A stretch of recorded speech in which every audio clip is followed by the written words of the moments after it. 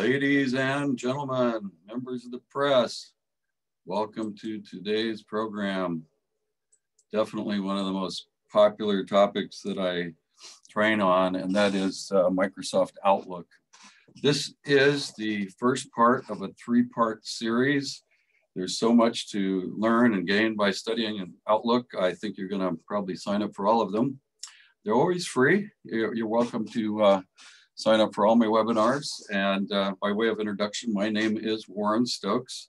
I am the Director of Sales at Avidian Technologies, who's the developer of Prophet CRM for Outlook. I have found that people that use Outlook want to learn more about our CRM called Prophet and vice versa. Today, uh, the format will be to uh, give you some of the high level concepts, uh, just kind of an overview to frame the, the demonstration and training. And then we'll spend most of our time today in the actual live demonstration of Outlook basics. Let's get started.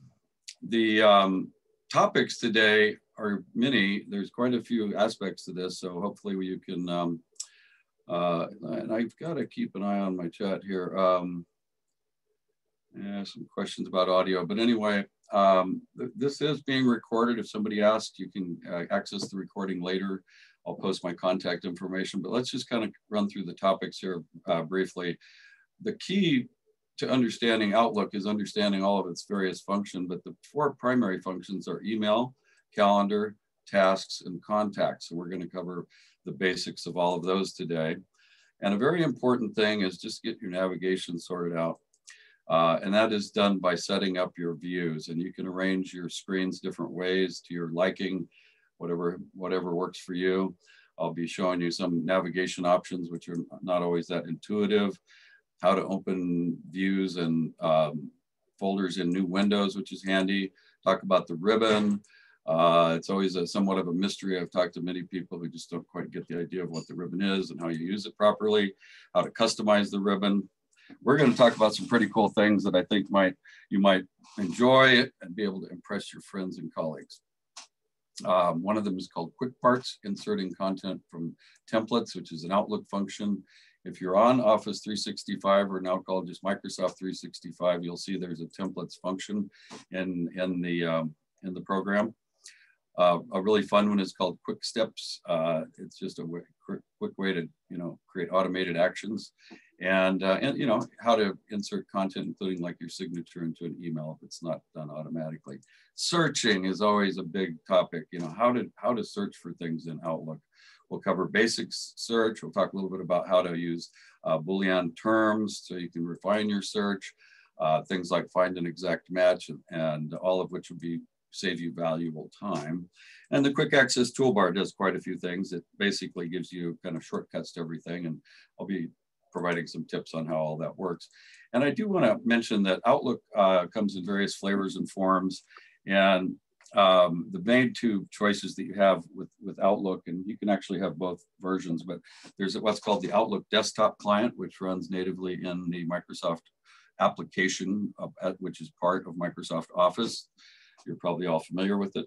Um, but there's also Outlook for Web, or it's now called the Outlook Web App. So just briefly, I wanted to explain that I, as I started to create a, a, kind of a chart or a table comparing the two, it got to be kind of silly because uh, you can you, you can almost you know do nothing on the Outlook Web App as compared to the desktop client. If any of you want to learn more about that, uh, feel free to contact me later. But um, suffice it to say that I'm going to be focusing in on the desktop client which has all the full functionality, very powerful uh, uh, uh, application. And so first, let's talk about what really the Outlook is all about. These four things, email, calendar, tasks, contacts. Uh, it's important to know what they're there for, how to use them, and why to use them. So Email, I think you all know, is just your communications. You send and receive emails all day long. I average at least 150 inbound emails uh, myself and probably almost that many outbound every single day. I have a, another webinar on how to tame your Outlook inbox. You should check it out. By the way, you can find all my webinars on YouTube. You just search for Warren Stokes Outlook Training and you'll find it all. And I'm easy to reach too if you ever uh, want to contact me, as I'll share my contact information again towards the end of the program. Calendar, everybody knows what a calendar is, but uh, what is it really for? It's to manage your time. I'm going to show you some very specific techniques that you can use with your calendar to help manage your time and be more productive. And then I get a lot of questions like, what, do, what are tasks all about? Why don't I just put things on my calendar? Well, the main concept is that your calendar blocks off time to do things, whether it's a meeting or some some function that you got to perform. Whereas tasks uh, give you a list of to-dos and they stay in your visibility, as you'll see, until you get them done. Uh, and contacts is really um, a digital address book. Uh, in the old days, we call it Rolodex. It's basically, you know, your business cards of everybody you know or all the people you know in your world.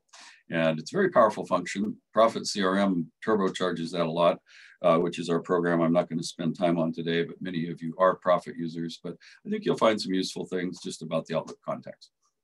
So rather than just uh, going through any more of the, the, slides, let me start by just showing you a few cool things to do.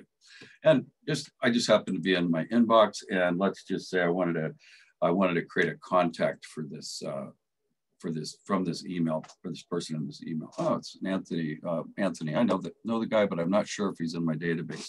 One thing you can do with Outlook to create a contact is you can simply simply do a drag and drop. It's an Outlook function, and if I drag that email over my people folder, it allows me to create a contact.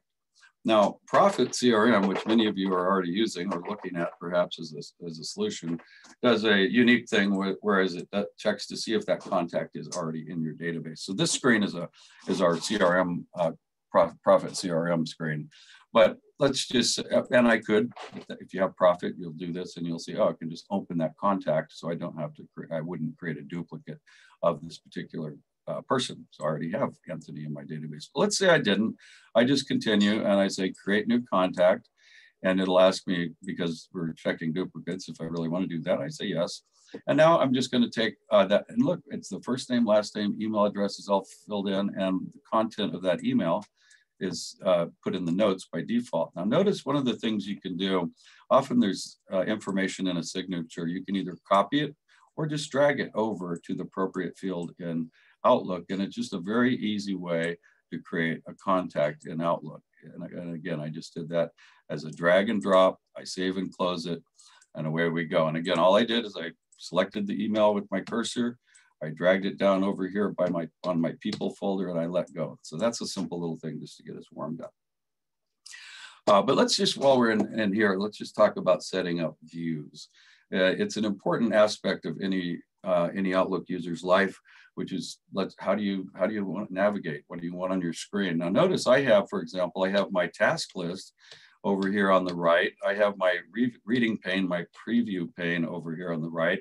But you can change these uh, settings and create your own view that's to your liking. So the way you do that is you go up to this tab called View, and you'll see that uh, there's a whole bunch of things. And remember, this is a three-part series, so we'll, we'll cover a lot of these um, in future settings, but oh, things like maybe you want to just change the spacing uh, of your emails. So if I click on this little icon that says use tighter spacing, look, it, it puts like twice as many emails in my list. If I want to open it back up, I just click on it again. Handy little thing. The uh, reading pane is really an important aspect of just previewing your emails. I like mine on the right for some reason, but you can change that to a bottom preview, as you can see here.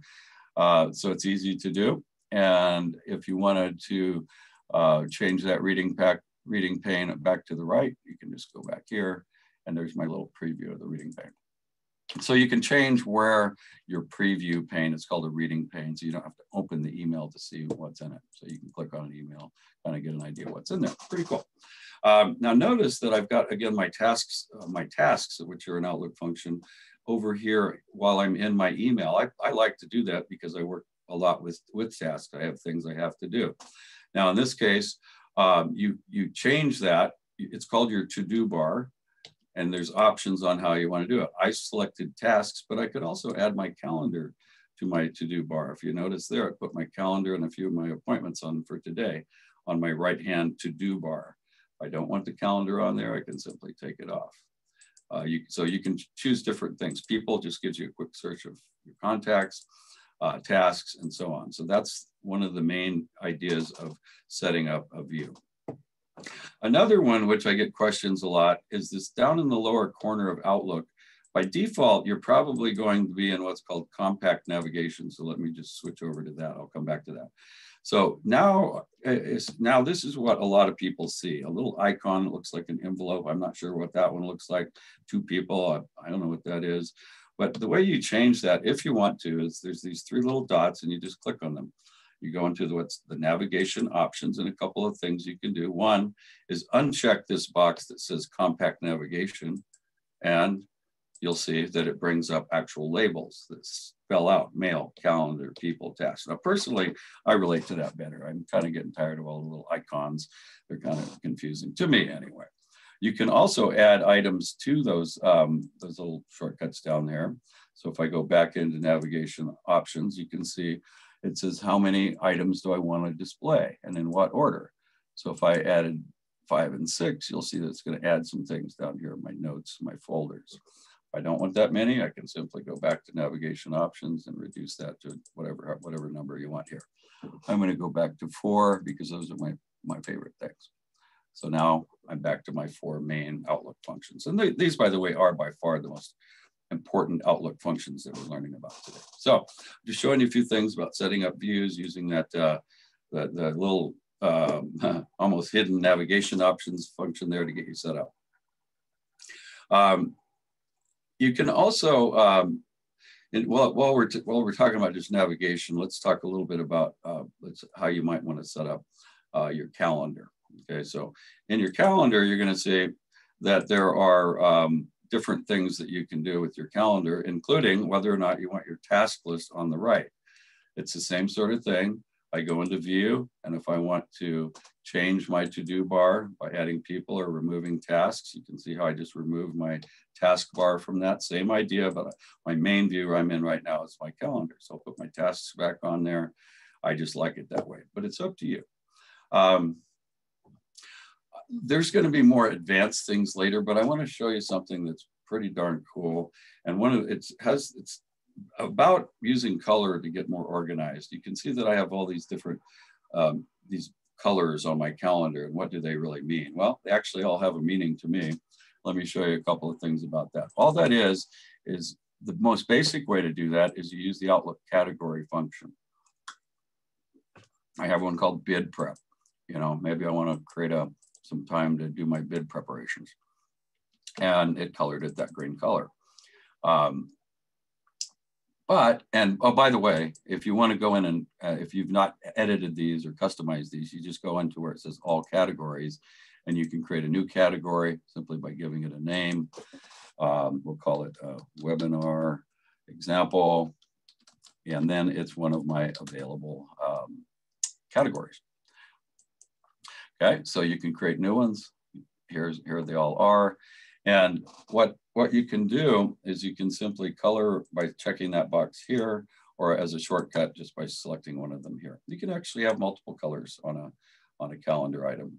And then you can see when I save and close that, it'll have the, the primary color, which is the most recent one, and then it'll have the other little colors as flags there too. But here's some of the magic. I'm gonna show you how to automate the color coding of your calendar let's say I wanted to block off some time at 1 p.m. and I wanted to uh, prepare for a meeting.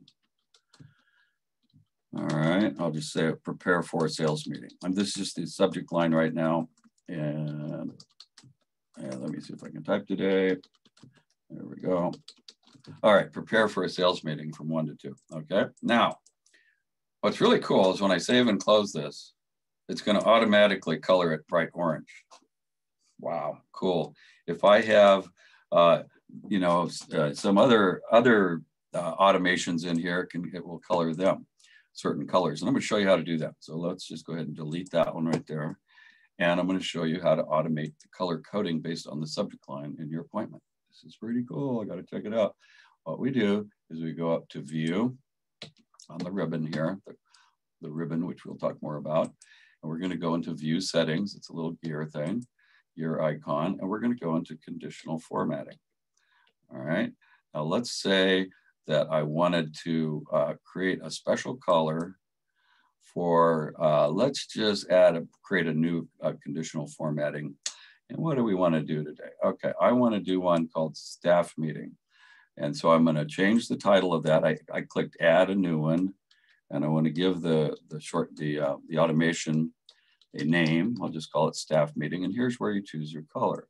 And let's just say it's bright yellow, okay? So now watch this. So that's all I got to do. So I, again, I created a new one by clicking add. I gave it a name. I chose the color that I wanted. And the condition is if the word staff meeting is in the subject line.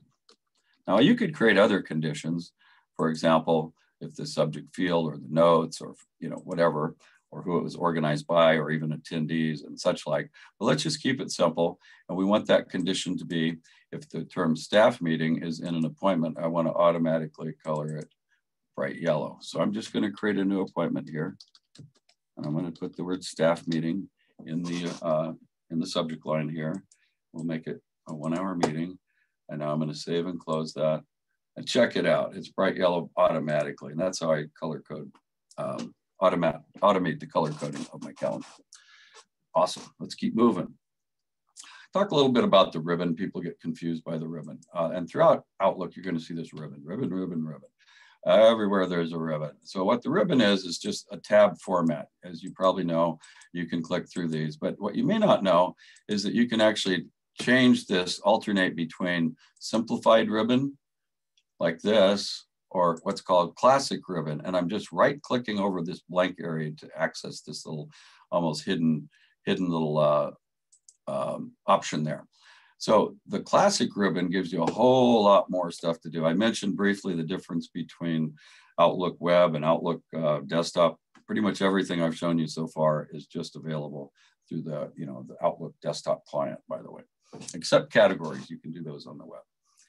And you know, I'm not paid to have an opinion one way or another. I'm just trying to tell you how I've been, uh, what my opinion is on on Outlook and what you know which version to use.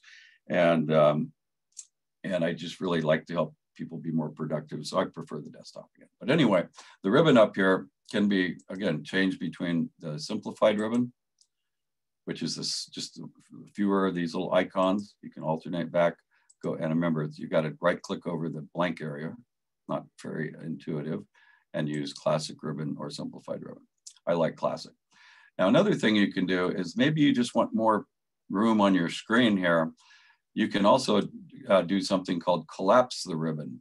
And that just takes the ribbon away completely. And pretty soon you go, where, where did all my tools go? Well, you just have to go back in and you, um, you have to be in moused over one of those and uncheck the collapse the ribbon function. In that case, you have to mouse over and right click on one of the labels. Again, not very intuitive, but that's how it works.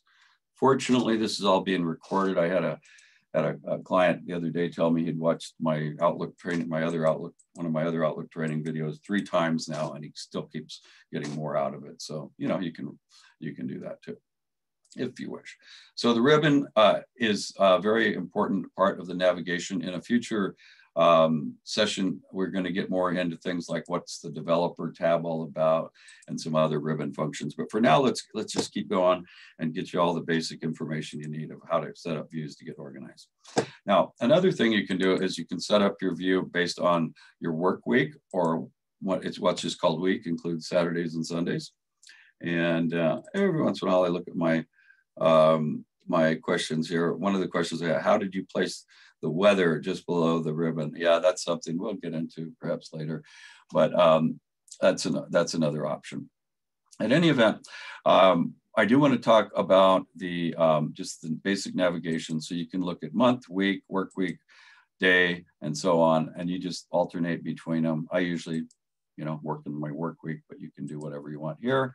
It'll remember where you left off, and uh, away we go. Now we're not going to get into all these little what you know, uh, functions up here, like sharing calendar. That will be in an advanced session at some point using if you're on Teams with Microsoft how that works and so on. But all we're really doing is I'm showing you some basic navigations to help you get organized. And uh, let's keep going here. And deals, by the way, all of those kind of things work in, in pretty much any view in Prophet, whatever view you're on, as you'll see. But one of the other things you can do is you can set up um, time zones. So if you go into here view settings, You can see these other things I can do in here. Uh, you can do things like, um, oh, change the fonts. Uh, you can change your time scale here. Um, time scale is a nice little thing to, to learn about because it automatically increments your uh, meetings that your blocks of time or meetings that you put on your calendar by default to be 60 minutes, 30 minutes, 15 minutes, or what have you. I keep mine at 30 minutes. It seems to work for me, but you can change that. And we were in this view a minute ago setting the, the automated color things. Again, what that's in the, the view tab in the view settings. That's how you do that. Uh, time scale is a little shortcut right here for that as well. Cool stuff. Oh, color is good. This is just creates your default color scheme when you create an appointment. You know, what color is it? Uh, I have it set for that light blue, but you know, you might prefer orange or purple or something as your default color. And remember, you can always change the color by categorizing it a different way, right? So that's another color coding thing. Let's see here. Well, um, how about we segue a little bit into the um, contacts just for the heck of it here.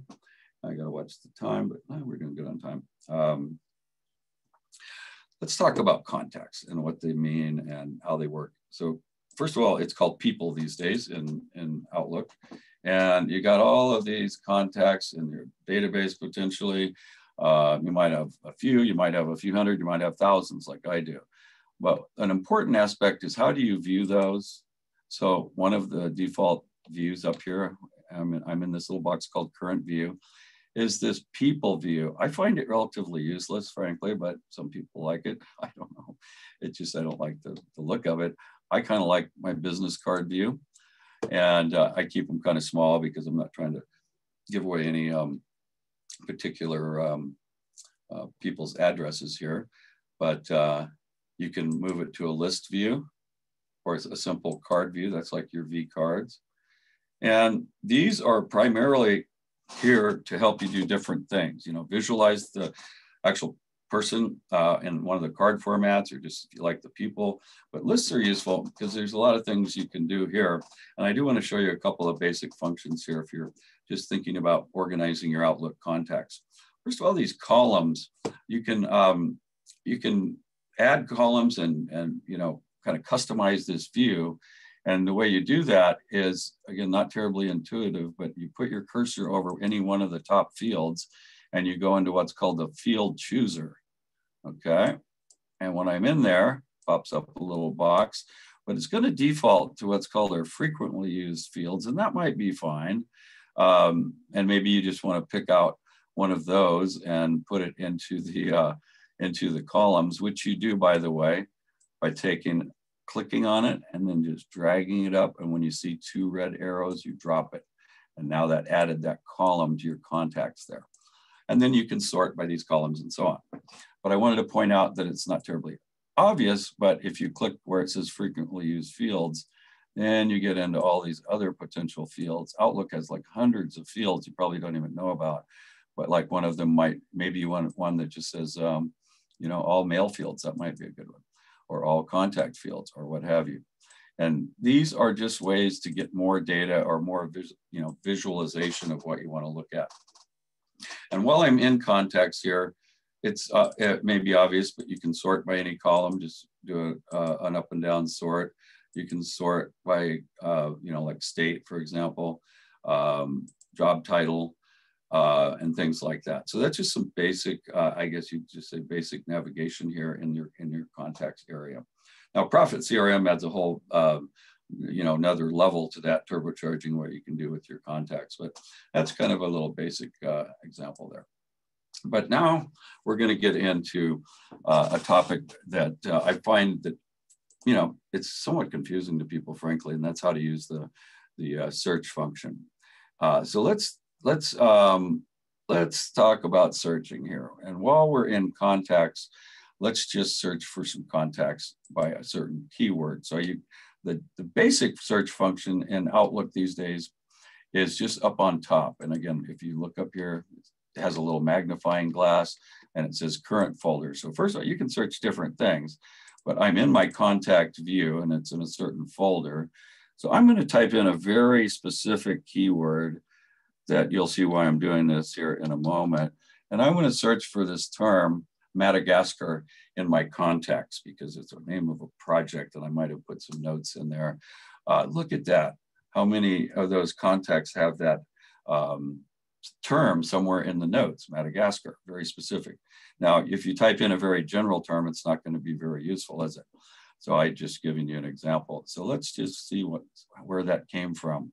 Okay, well, here's a contact, some notes in it.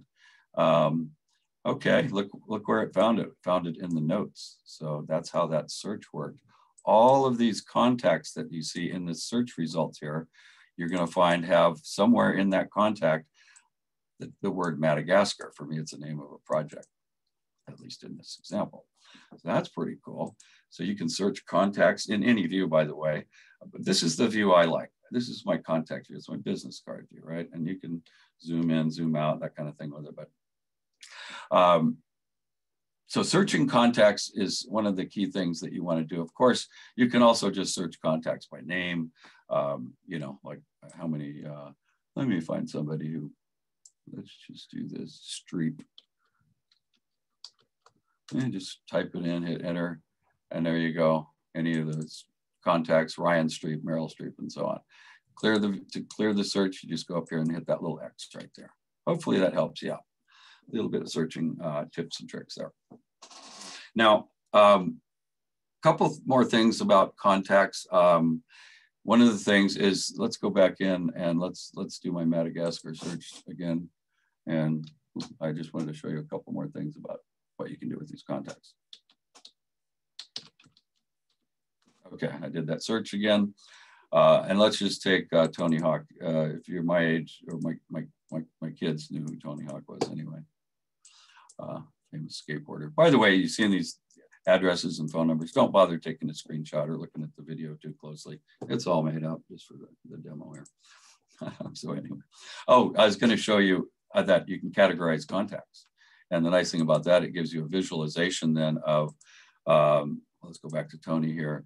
And if I click the category button here, you can see I have all these different categories and you can have multiple categories that you're uh, looking at there in any one contact. If you want to remove a category, you just say click uh, clear. Anyway, that's a handy function um, is the category function, which by the way, if you're in a list view uh, of, of, uh, of your contacts, I'll go, you know, we can talk about that again, but you can also um, look at things by category in a list view. So let's go to the list. Over here on the right, you'll see all my categories.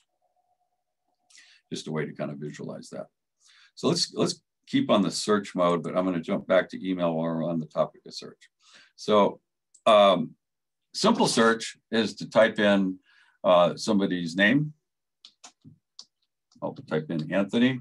Maybe that's all I could remember. I hit enter and all of these throughout here have the Anthony and, and it highlights where it finds it, right, in the, the yellow there. Um, and, and that's useful. People probably do that all the time right now anyway. But um, I'm gonna show you one that you may not know about, and that's refining of the search to an exact match. So I'm gonna put Anthony Hopkins, but not, and I could just do that, and it'll find a bunch of possible Anthony Hopkins matches, but here's what's really cool. If I put a quotation mark in front and a quotation mark at the end, check this out, it's only going to have exact matches. Every one of these has that, that exact term, Anthony Hopkins, in it. Uh, even these other memo fields and everything down in here that kind of our Prophet CRM not notifications. Here's one. Uh, again, I use the exact match. Uh, this is part of the Boolean. Don't, don't get hung up on the term Boolean. It's kind of a funny sounding name, but the Boolean search terms is to find things like exact match. But let me show you this. What if um, I wanted to have uh, a little bit different type of search and I wanted to have Anthony Hopkins and the term, let's say enterprise, which is something of one of our product names you can put the and in there. Now it's only picking up those showing me that have Anthony Hopkins and the term enterprise in it. Pretty cool. So I'm showing you some of these um, Boolean functions, they're called. It's really just a way to, to refine your searches so that you can not be looking at a gazillion things of data. Um, that's really one of the key things.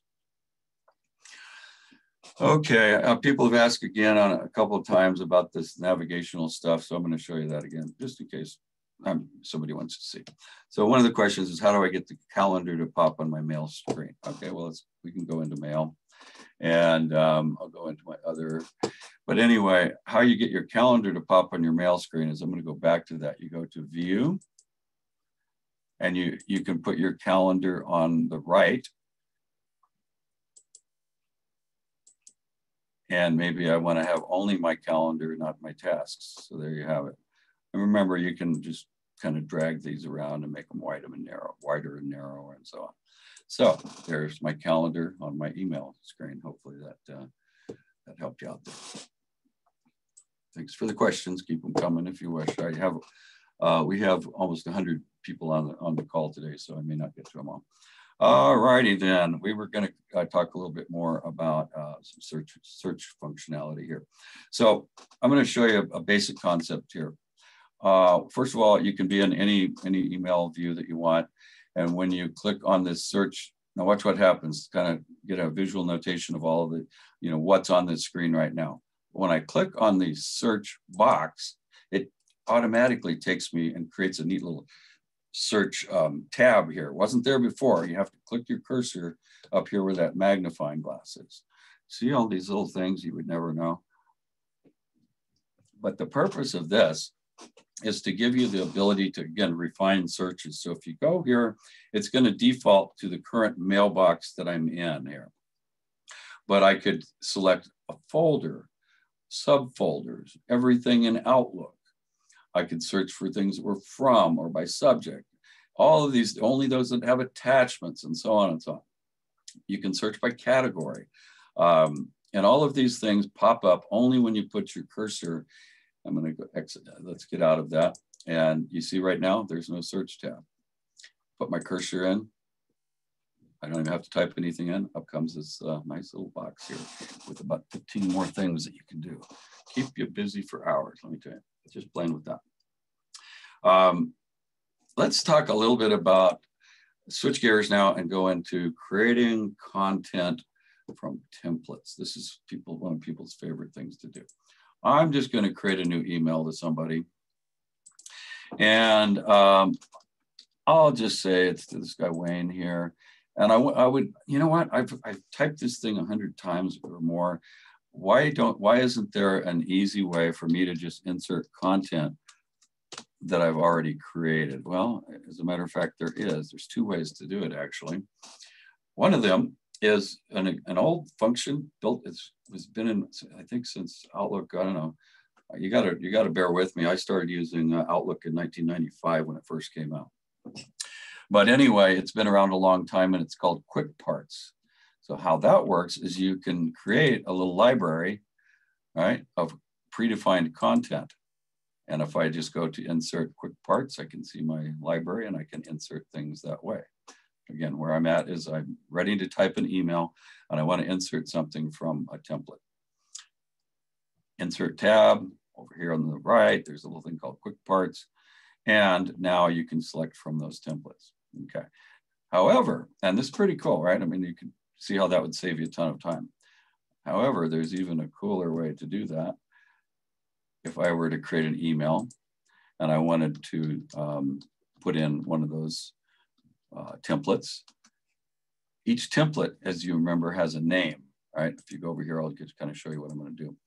And uh, that one says call, that one says campaign, and so on and so forth. But uh, I, I, could just type in a keyword, uh, keyword info, and as if by magic, it pops up that uh, template content. So that's all good, but how did you, how did I create this content? Hmm. Well, or these templates, it's not very hard actually. Let's just say I wanted to create this as a blurb of content. It's already been done. I got it out of my sent items or something like that.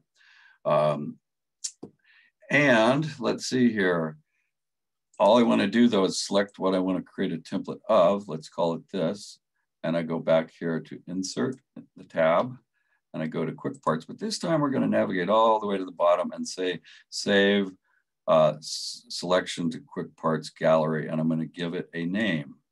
I'm going to call it key K-E-Y, key features, kind of a, my little mental shortcut. Now, there's a little description of it if you need it. But now we're going to delete all this and we're going to insert that by keyword this time, okay?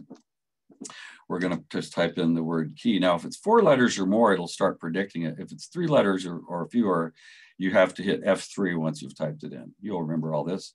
There you go. Isn't this the coolest thing? Um, you know, I have one called costs. Everyone wants to, you do have to kind of spell your keyword correctly. Costs, you know. But did you, again, see how, I'll undo that. Did you see how as I started typing in this, that it starts to predict that I might want to put in my, here are the licensing costs blurb, hit enter to insert. This is ridiculously cool.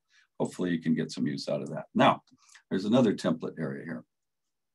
And that is up here on the right. If you're in a message view of email and you're, you're in the message part of the ribbon, this ribbon thing again, you'll see a thing that says view templates. Now, if you haven't created any, there won't be any in here, sad to say, but you can create them very easily. And then you can just select content from these templates on the right. Now, why does, why does Microsoft give you these two, um, you know, different ways to have templates? Truth of the matter is, I don't know, and I doubt that they know. But I'll tell you what I found is that these templates follow me around in my Microsoft 365 account, regardless on what computer I'm on. Pretty cool, right? Uh, whereas uh, the quick parts do not. They're just a local function. It's really obscure how, how you go in and even transfer those, you know, quick parts to another computer. It can be done, but I mean, you have to be like a computer programmer almost to do it. So I, I, I like them both. You know, there's no right or wrong. I just uh, thought you'd like to know that there's different ways you can insert con content from templates. But hey, it doesn't stop there. It's not just an email function. And even if you know about the quick parts thing, you may or may not know that you can actually do it from a calendar. So for example, I do a lot of Zoom meetings. So I have a little quick part called Zoom. Ah, look at that, dial the number, away we go, right? And remember, if I put the subject line, uh, staff meeting or you know prepare for a, a call or whatever, it's going to automatically color code it. I'll do that again just for those who might not have seen that last time. Prepare for sales meeting. Now, I don't have to put any color at all on it. Let's just let's just say I wanted to um, um, you know, save and close it. Boom, colored it orange automatically. Isn't that cool? I showed you that before, but twice, two times is the charm. Um, I've kind of got a lot of questions around the search stuff. I think we covered it pretty well, but again, I'll post my contact info. We can we can have other conversations later. Um, so let's continue on this uh, inserting content from templates. Well, you may or may not know, you can do that in your task list too. Maybe you have a repetitive task that is, you know, you, you need some instructions in a, I mean, uh, tasks here, but let's create a new task. All right, and here's my new task, and it's, uh, you know, follow up on quote or whatever. Now, maybe I would just want some content in here uh, to follow up with in that reminder. So now I set that reminder here. I'll just set it for today and you can, reminders are optional. So by the way, when we talk about tasks, I want to spend a little time as we go on tasks because people are often confused by, by tasks a lot. But I'm going to color code this high priority and I'm going to make it due today. And I'm going to have a reminder at uh, noon. And again, this content that I put in here, I, I could just type up, you know, I always want to, you know, review the features or the costs or something. So I can just insert that content from templates right in here. All right, so now I'm gonna save and close that task. I am in my task view right now, but as you all remember, I keep my tasks on the right of my calendar just so I don't have to go through bounce through different views. And there it is. When I open that reminder, here's all the information that I put into as that note. Follow up on the quote. Pretty cool. And by the way, uh, while we're talking about this sort of thing, you can also insert um, documents like a quote or something like that in here. And uh, you can see how there's a PowerPoint or that could be a quote or whatever. So when it pops that reminder up, it will actually have that attachment in it as well. Pretty awesome. Now, while we're talking about tasks, let's kind of go back to the beginning and I'm going to show you something I think you'll find really interesting. I'm going to go back to my mail view And I'm going to take this email from Anthony. I showed you how to create a contact out of it. But this time, I'm going to create an appointment on my calendar with it. And remember, it has some content in it and things like that. I can just do a drag and drop over my calendar icon and it'll create an appointment with that as this with the what was in the email as the subject by default and the content of that email is in my appointment and now I can invite Anthony to that meeting if I want to uh, you know let's have a meeting let's make it a zoom meeting we also use Microsoft Teams just as much but uh, we want to color code it or maybe uh, I just term you know put the term bid prep in one of my automations and away we go. I just sent that appointment to Anthony and you're gonna see it on my calendar here. But the point is I made it from an inbound email and it saved like three or four steps to create that appointment from that inbound email. Pretty awesome. Now, uh, let's see here. Uh, getting some questions about Prophet, which I don't mind answering briefly. So Prophet CRM, not everybody on the call is a Prophet CRM user or customer, but Prophet CRM does a bunch of neat things with, with contacts. But I do want to go back to one thing since there's a question about it. The use of the, the private function is one thing that uh, you can use that Outlook, that Prophet and Outlook both have. So this private button right here, if you mark a contact private, it will never show up in your Prophet CRM. And there's an easy way to do it. You don't have to open them all. You just use that field chooser I was talking about and put the column private there. And then you can just go down your list and, and check those boxes and it makes keeps them out of Prophet and it just shows you they're private. Um, in any event, more questions like that we can pick up after in a follow-up call. Uh, all righty then. So I was kind of going through a little train of thought here and that was drag and drop an email to create an appointment. What if I already had uh, a task, let's just say, all right, follow up on the quote. Maybe I created the task first. Well, I could actually drag that over my calendar and create an appointment from the task. Pretty darn cool because it saves so much time, right? Uh, so the idea of this transformational aspect of Outlook is um, is a pretty powerful thing because if you've got an email or uh, a task, you can create you know appointments with them or contacts with them. It's all kind of interactive in that regard. Just check my questions here real briefly. All right, I think I'm getting caught up on those. Um, I wanted to share with you as we kind of wrap up here, kind of what, what this is all about and kind of get your mind around it. And uh, first of all, remember that this is the first in a three-part series. The next the next one will be called out be called Outlook Intermediate Training, and it'll get deeper into the same subjects plus add some new topics for you. And then there will be a third one for Outlook Advanced Training, and that's where you're going to have to really get your, you know, get your thinking cap on. But all of it's useful, useful stuff, I'm sure. But when we were talking about, I just want you to remember the main concepts here. Email is about communications. You need to easily be able to create content for emails. You need to be able to uh, find them efficiently uh, using search tools and such like. Using your calendar to block off time, not just for meetings, uh, but with just so you make sure that you blocked off time to get things done. Tasks are important because it's your to-do list. Next week, you won't be looking at this week's calendar, I guarantee it, but your tasks will persist there. And by the way, here's a little tip for everybody. Uh, if you get a bunch of these red ones, it means you're getting late on a bunch of stuff. So the tasks next week, next month, my tasks are going to persist and they're going to keep showing me that, hey, you know, you have some things you got to do today, tomorrow, next week, or the red ones are late. So just keep that in mind. If you get a whole bunch of red ones, you're kind of getting behind the eight ball there. And then contacts. And contacts have all sorts of useful functions, but I've, I've found that a lot of people don't effectively use get con, you know good contact data. And it's important that you do. The more you put into a contact the better that data is going to be uh, for you later. And like if you don't have an email address in the contact what good is that going to do if you try to email that person? If you don't have their last name it's nice to get as much information as you can.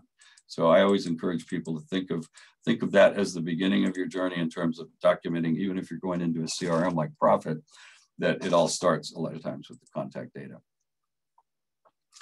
Um, well, good question. While we're talking about basics, how is an appointment different from a meeting? It really isn't. It's just a terminology thing. Um, so a meeting, though, is you invite people to it. That's one of the key concepts of a meeting or an appointment. Now, you can use the words in interchangeably a little bit from an appointment or meeting. They both imply that you're meeting with someone uh, thus, it's an appointment with someone or a meeting. But that doesn't mean you can't just block off time to do something. Uh, I don't call that an appointment or a meeting. That's just time that I'm blocking off to do things. So I hopefully that clarified that, that question there for you. Um, but here's uh, to kind of wrap up here. I, you know, I have a whole uh, curriculum on how to tame your Outlook inbox. It's a, it's like some of the stuff we've covered and a lot more. There's a great video on it. Uh, I want to give you a couple of things to think about here. Uh, one of them is something that I've kind of come up with. I heard about this years ago I, at a seminar or something, um, and I kind of adapted it and and uh, personalized a little bit for, for mostly how to deal with your Outlook, the you're taming your Outlook inbox. And here's the idea: if every time you get an email, you do one of four things, you're going to find it's amazing how much better your productivity will be, and you won't get bogged down with thousands of emails. I've, I literally have talked to people with thousands of un, unread emails. So here's what you do. You get an email, you deal with it immediately. You can even set it to delete itself once you've answered it if you want.